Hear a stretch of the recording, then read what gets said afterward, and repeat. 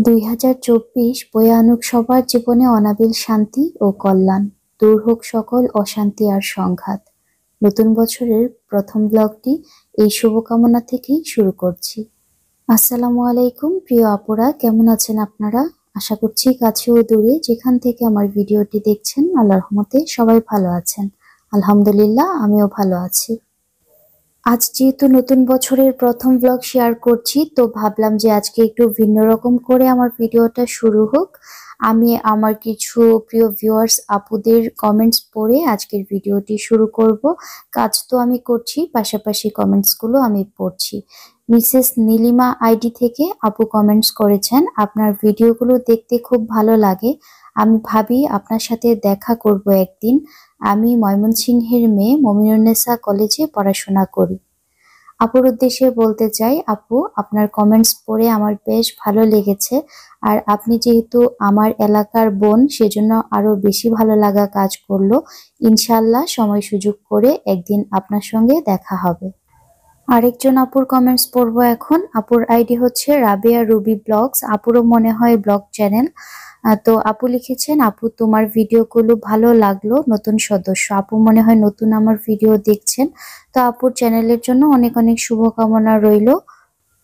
দুইটা কমেন্টস আজকে আপনাদেরকে পড়ে শুনিয়ে ফেললাম। আর সেই সঙ্গে কিন্তু আমি দুপুরের রান্নাটা আজ বেশ সকাল সকাল করে নিচ্ছি, কারণ আমি বাসার জন্য নতুন একটা ফার্নিচার নিব। সেটার জন্য হচ্ছে আমাকে একটু ফার্নিচার শোরুমে যেতে হবে। আর আমার জেরার গুঁড়া শেষ হয়ে গেছিল।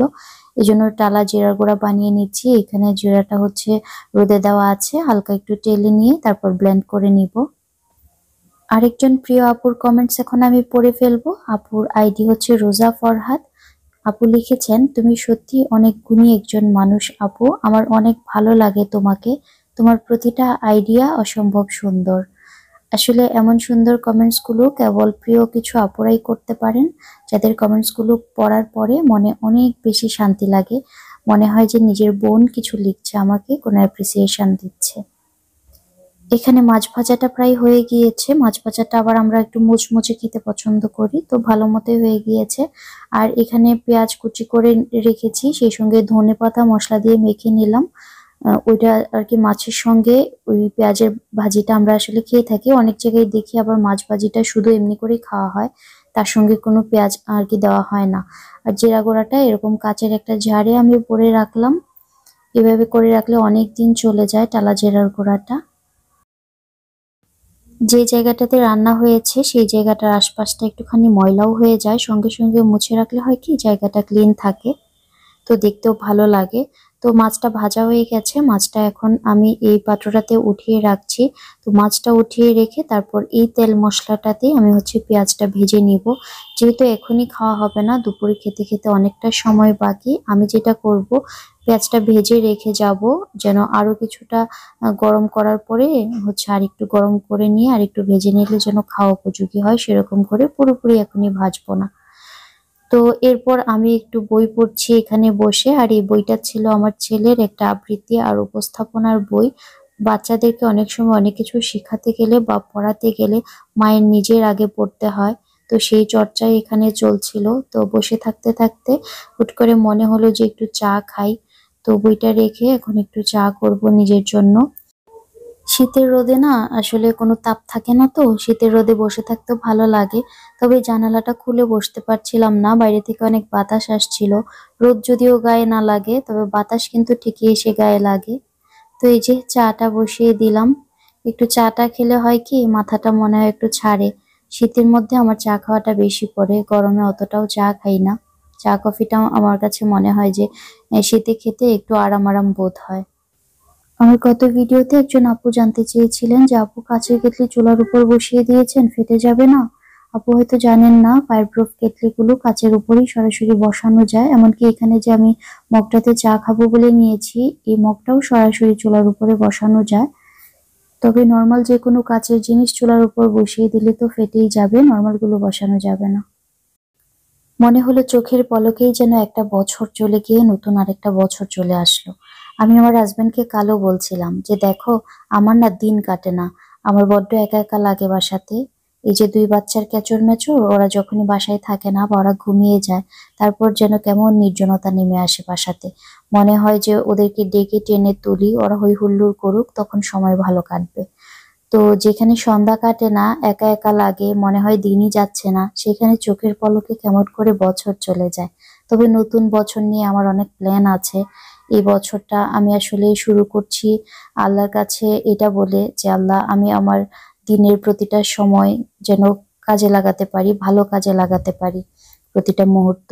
আর এবার আমি ডিসাইড করেছি যে, আমি আমার বাচ্চাদেরকে প্রচুর সময় দিব। একদম এবার বছরের শুরু থেকেই বড় ছেলের বা ছোট ছেলেকেও তো বাসায় এখন একটু একটু পড়াতে হবে। তো বড় ছেলের পড়াশোনার ভুল দায়িত্বটা একদম টোটালি আমি নিজেই নিব। এমনিতে টিচারের উপর ভরসা করে বা ওর বাবার উপর কিছুটা ভরসা করি।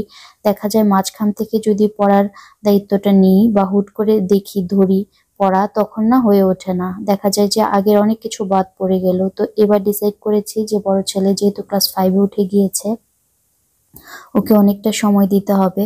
তো এখন ওর টাইম হচ্ছে খুবই ই হয়ে গিয়েছে। ওরটার খুব টাইট টাইম শিডিউল হয়ে গিয়েছে স্কুল টাইম আবার কোচিংয়ে দিব ক্যাডেট কোচিং করানোর জন্য, পাশে আবার প্রাইভেট আছে, সব মিলে ওর ব্যস্ততার কারণে ও নিজের ঘরটা গুছিয়ে রাখতে পারছে না। তো এক্ষেত্রে দেখা যায় কি, একটু এলোমেলো থাকে, যেখানে ও প্রচণ্ড গোছানো, তারপরও দেখা যায় সময় কুলে উঠতে না পেরে এরকমটা হচ্ছে। তো আমি ওর রুমটা এখন প্রায়ই এসে টেবিলটা একটু গুছগাছ করে দিই। ততক্ষণ দেখা যায় ও একটু রেস্ট নেওয়ার সময় পায় বা বেচারা টিভি দেখার এখন একদমই সময় পায় না। তো সেই সময়টা ও একটু বসে আরাম করে টিভি দেখতে পারে। যদিও এখন বাসায় নেই, একটু পরে বাসায় ফিরবে। তো এই যে জুতোটাও টেবিলের নিচে রেখেই চলে গিয়েছে। এমনি হলে কি হতো, বাসায় পড়ার জুতোটা একদম ফিক্সড একটা জায়গা আছে, ওইখানেই সে রেখে যেত। এইভাবে এখানে সেখানে ফেলে যায় না কখনোই। তবে সময়টা না যদি টাইট শিডিউল হয়ে যায়, তখন কিন্তু অনেক কিছুই এলোমেলো হয়ে যায়। তো ও পড়ার জায়গাটাও একটু গুছিয়ে রেখে দিলাম, এখন এসে বসলে ও একটু শান্তি পাবে। আর এটা হচ্ছে ওর বই রাখার জন্য এই তাকটা বানিয়েছিলাম। এখন যেহেতু ওর বেশি বই নেই, গ্রামার বইগুলো এখনও কেনা হয়নি, এদিকে আর একটা বুক সেলফ আছে, ওর রুমে এগুলো। এখানে আমারও আগের বই আছে, কিছু স্টোরি বুক আছে, ওগুলো অবশ্য অন্য জায়গায় রেখেছি। এখানেও কিছু বই আছে যেগুলো আমার আগের ছিল। ওরও আগের বইটাই ছিল। তো আয়নের বাবা এখন রেডি হয়ে যাচ্ছে আয়নকে আনার জন্য। ওকে বিদায় দিয়ে হচ্ছে আমিও রেডি হয়ে নিব, সেই সঙ্গে আদিয়ানকেও রেডি করিয়ে নিব। আর আম্মাকে ফোন দিয়েছিলাম, আম্মা কাছাকাছি চলে এসেছে। এরপর হচ্ছে আমরা একটা ফার্নিচার শোরুমে যাব। এই যে আমরা ফার্নিচারের দোকানটাতে চলে এসেছি, এখানে প্রথমে ঘুরে ঘুরে একটু দেখে নিব যে কি কি ধরনের জিনিসগুলো পাওয়া যায়, কোনগুলো কোয়ালিটি ভালো হবে। এই শপটা হচ্ছে আমার হাজব্যান্ডের পরিচিত একজনের শপ তো এখানে যদি ভালো জিনিস না হয়, তাহলে অবশ্যই আমাদেরকে দিবে না। ভালো জিনিসটাই দিবে, যেটা টেকসই হয় বা ভালো হয়। চলেন তাহলে জিনিসগুলো প্রথমে আমার সঙ্গে আপনারাও একটু ঘুরে ঘুরে দেখবেন।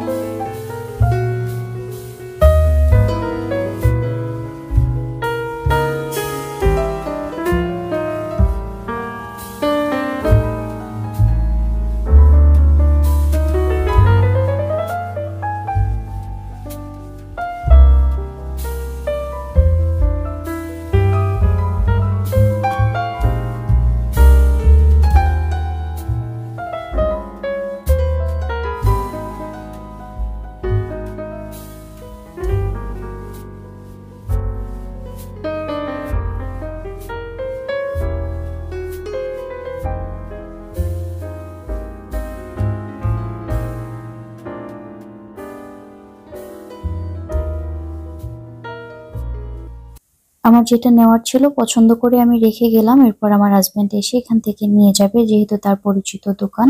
আর নিতে গেলে দেখা যাবে একটা ভ্যান গাড়ি ডাকতে হবে, তো ওইসব ঝামেলায় আর যেতে চাচ্ছি না। কোথাও যাবার হলে না, ওই দিন দেখা যায় রান্না বান্না একটু কমই হয়। মাছ ভাজা করেছি, শুধু দুপুরের খাবারে আজকে আর কিছুই নেই। এটা দিয়ে খেয়ে নিতে হবে।